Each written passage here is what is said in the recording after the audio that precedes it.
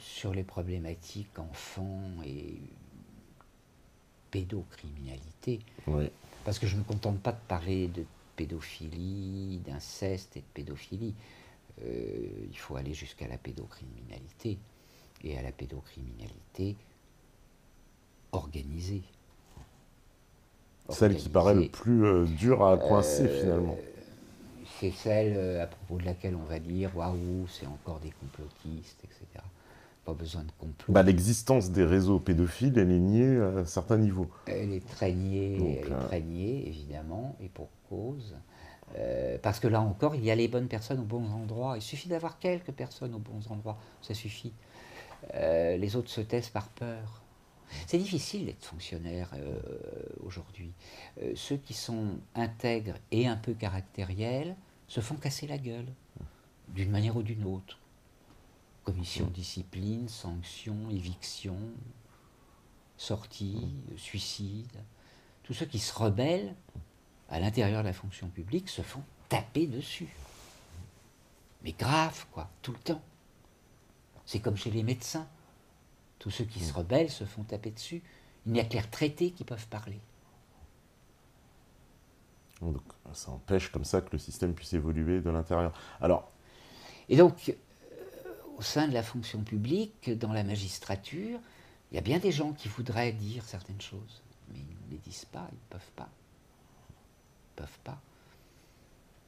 Et les histoires de pédocriminalité, euh, aujourd'hui, on a des témoignages qui vont très, très, très loin. Très, très, très loin.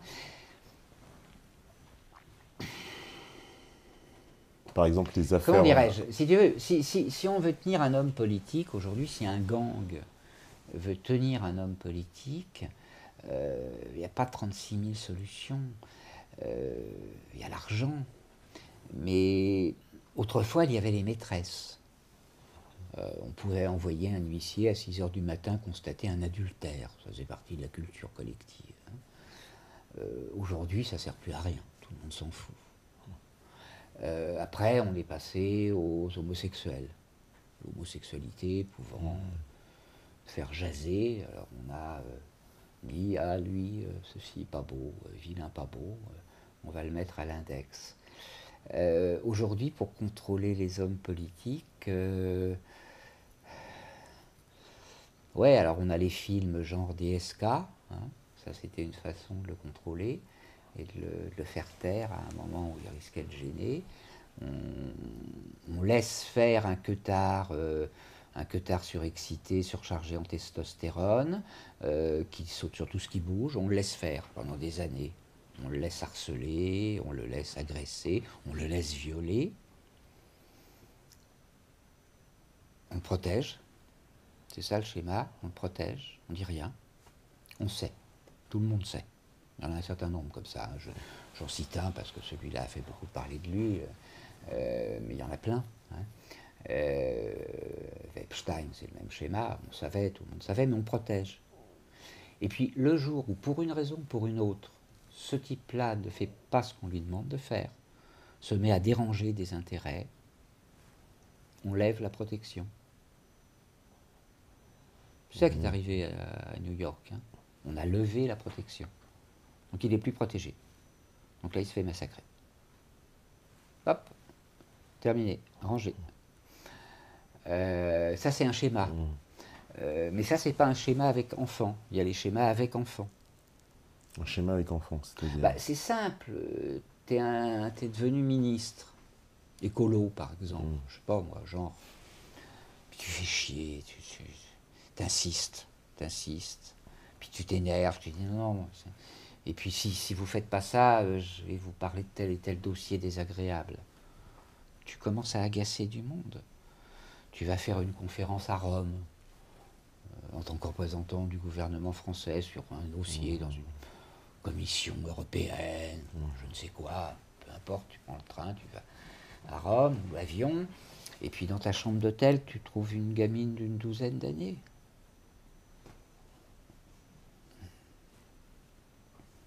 qui te supplie de l'autoriser à te faire une gâterie parce qu'il y a une caméra dans la chambre. Pardonne-moi, c'est une alarme inappropriée, qui te supplie de te faire une, gâterie dans la chambre parce qu'il y a une caméra, parce que sinon elle, va se faire tuer en sortant de la chambre si elle ne le fait pas. Waouh, tu fais quoi toi? T'es mal, hein T'es grave mal, hein T'es grave mal. Euh, il y a d'autres formules, il y a d'autres formules, il y a les participations aux soirées par étapes. Ça, c'est l'affaire Charles Roche aussi, qu'on trouve sur Internet avec son père. Les enfants Roche, oui. Les enfants Roche, avec lesquels j'ai travaillé. Il y a une vidéo sur Internet. Mhm. Euh, d'un long interview de Charles et Diane Roche qui doit, dater, qui doit faire une heure, qui doit dater de 2005 ou 2006, quelque chose comme ça, j'ai plus le souvenir précis, euh, où je fais une intervention d'ailleurs à la fin de l'interview pour mhm. expliquer certaines choses. Euh, j'ai pas mal travaillé avec eux, je les ai beaucoup écoutés en tout cas. une autre stratégie, c'est on emmène un, un magistrat, certains hommes politiques, dans des soirées, qui deviennent de plus en plus euh, hommes-femmes, euh, de plus en plus libertines, mhm. avec peut-être un peu de drogue aussi. On est dirigé pour partie par des mâles alpha surchargés en testostérone et en cocaïne. Ça va avec. Parce que les enfants Roche, leur témoignage est édifiant sur, sur leur père qui est, bah, faut rappeler, un juge qui est impliqué, enfin, bah, qui il est impliqué dans l'affaire Allègre, c'est ça, de Toulouse. Il a été emmené dans des rituels sacrificiels. Voilà, c'est ça. Dans des rituels sacrificiels avec brûlure de cigarettes et dans quelques cas avec meurtre.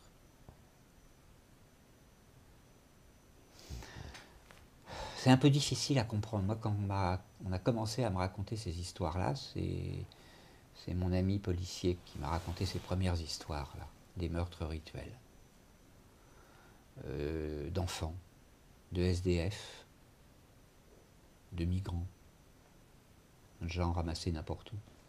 De personnes qui, euh, dont c'est sûr que personne viendra les chercher. Bah, des gens c'est ça qu'on ouais, voilà. Des gens très. Euh, personne viendra les chercher. Viendra les réclamer. Quoi. personne viendra les chercher. En fait, le problème auquel on, est, on se heurte là, c'est qu'on est face à des, à des groupes euh, barbares, à des mafias barbares, euh, qui fonctionnent sur des rituels qui sont multiséculaires. C'est-à-dire que ce n'est pas, pas très nouveau dans l'histoire de l'espèce humaine, malheureusement. Euh, il y a quelques siècles, plus, plus que quelques siècles, euh, les molokistes, les adorateurs de Moloch, sacrifiaient leurs enfants. Mhm. Et on est quelque part toujours dans cette tradition-là. Ah, on est dans une société qui continue à sacrifier des enfants. Il y a des magistrats qui savent ça.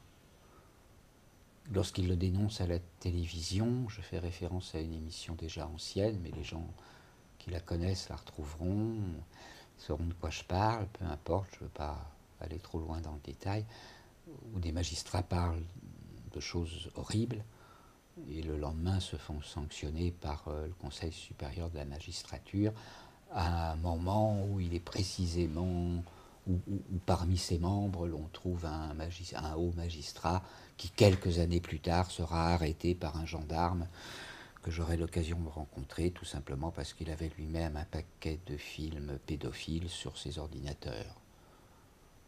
C'est-à-dire qu'un magistrat qui dénonce des dossiers pédophiles très lourds se fait sanctionner par un magistrat qui plusieurs années plus tard se fera arrêter par un gendarme parce que lui-même avait des films pédophiles sur son ordinateur. Waouh Les histoires. Qu'est-ce qu'on fait de tout ça? Qu'est-ce que je fais de tout ça? Alors moi, je raconte, je fais parler des gens, j'écoute, j'observe. Il y a des dossiers horribles qui sortent en ce moment sur Internet. Il y a un inspecteur général de la santé publique en 2014, j'ai plus son nom en tête qu'il me pardonne, on le retrouvera sur Internet, qui parle des, euh, qui est interviewé à propos des placements abusifs d'enfants par euh, l'aide sociale à l'enfance. Euh, et qui explique qu'il y a à l'époque environ 140 000 placements d'enfants par an. Ça fait pas mal quand même. Hein. Mais que la moitié, la moitié, 70 000, pourraient être traités autrement que par déplacement. C'est-à-dire, en clair, il y a 70 000 placements. Abusifs, déclarés abusifs Très clairement, que l'on peut considérer comme abusifs. C'est-à-dire qu'aujourd'hui, sur Internet, on peut trouver un pourcentage non négligeable de ces 70 000 dossiers de mères, souvent de mères ou de parents, ou de pères, qui hurlent de souffrance parce qu'ils se battent depuis six mois, six ans, dix ans parfois, pour, euh, entre guillemets, récupérer leurs enfants. Oui, on en a reçu un certain nombre, nous, mais... Euh, Et c'est terrifiant. Je crois qu'on a, quand on fait le tour du nombre d'enfants qui disparaissent tous les ans euh, sans que l'on puisse effectivement les retrouver, euh, puisqu'il y en a un certain nombre qui disparaissent mais que l'on finit par retrouver, euh, je crois quand même qu'il en reste plusieurs milliers, plusieurs milliers, 10 ou 11 000. Un peu comme la, dernière. Où ces enfants? la dernière en date, la petite Maëlys qui, avait, qui a disparu et plus aucune nouvelle. La gendarmerie où il y avait des preuves à brûler. C'est ce que j'appelle une commande. C'est ce que j'appelle une commande. Il y a des enfants qui sont récupérés sur commande. Il y avait la petite, euh, comment elle s'appelait Estelle aussi, je crois bien, c'était en Seine-et-Marne, pareil. La liste des noms est terrifiante. Oui, la liste est terrifiante. Oui, parce que cette petite aussi avait un gendarme qui enquêtait sur l'affaire, qui s'est enfui avec son arme de service et qui a dit euh, oui, c'est trop gros pour moi, en fait, ce que j'ai découvert euh, par rapport à cette affaire. Euh, je, ne suis obligé, je suis obligé de m'enfuir et de me taire. Et de me taire. Mais bien entendu, euh, beaucoup de gendarmes sont dans cette situation-là. Dans l'affaire des disparus de Lyon. Les disparus de Lyon, oui. oui. un gendarme pour qui ça s'est mal terminé, si mes souvenirs sont bons. Oui, le fameux gendarme Jean Gambier ou Jambier, quelque chose comme ça, qui, euh, enquêtait sur l'affaire et qui, a, une fois à la retraite, a continué en fait l'enquête et puis ça s'est terminé par encore une fois un suicide. Euh, on a suicidé, voilà. Mmh. Mmh. À chaque fois, mmh. à chaque fois, euh, il y a eu quantité de suicides à Toulouse à une époque. Oui. Tout à fait. Autour de l'affaire Allègre. Et qui était classé sans suite, alors que bon, quelqu'un avec deux balles dans la tête, c'est un quantité peu de Quantité de mmh. meurtre, en réalité, mmh. mais qui est en suicide. L'affaire Roche a des liens avec cette affaire.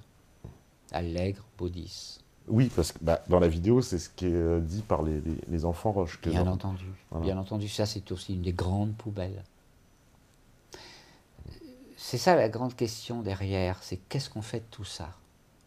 Qu'est-ce qu'on fait de tout ça? Et comment surtout on se débarrasse des gangsters les plus violents qui contrôlent les institutions de l'État français? Et au-delà, et au-delà, mais là, j'ai calmé, je vais me limiter à, l'État français. Euh, qu'est-ce, qui, qu'est-ce qu'on peut faire euh, pour euh, que ce genre de choses ne se perdure pas? Là, on est face quand même à une une mafia ultra puissante. S'il y, a des juges, des magistrats, donc quoi, des hommes politiques, des policiers, des.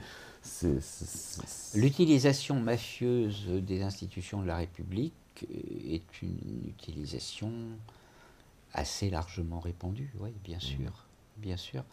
Euh,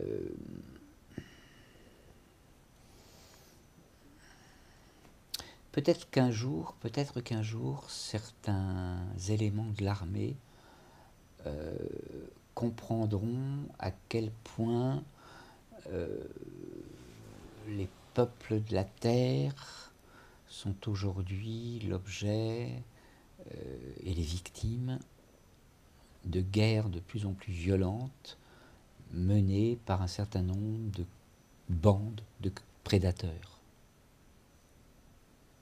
La planète tout entière, d'une certaine manière, est aux mains de bandes criminelles organisées, mafieuses, de gangsters et de prédateurs.